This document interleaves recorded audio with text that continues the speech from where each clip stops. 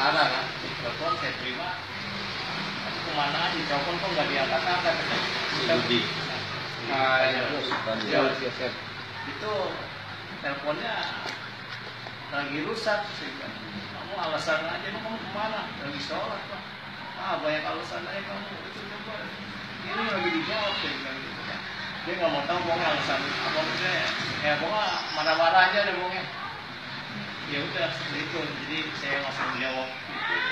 Ya kejadian seperti itu dah. Udah, seperti itu. Setelah itu bapak dikirimkan dikirim Besokannya SP.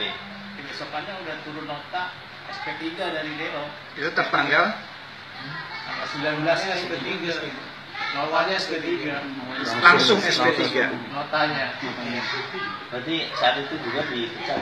enggak saya di langsung diganti maksudnya langsung diganti soalnya jadi Pindah ke mana, Mas?